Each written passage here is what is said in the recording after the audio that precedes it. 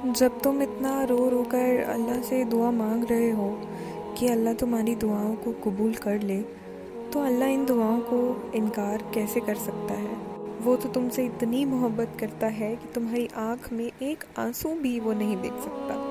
और इन्हीं आंसुओं के सदक़े वो तुम्हारी दुआओं को कबूल कर देगा। यकीन मानो, तुम्हारी दुआएँ अल्लाह तक पहुँच गई हैं। अब तुम्हें सब्र का पहलू क्योंकि अब जो होगा वो सिर्फ़ मुआवजे होंगे और तुम खुश हो जाओगे कि अल्लाह ने तुम्हारी दुआओं को अपनी बारगाह में कबूल कर लिया।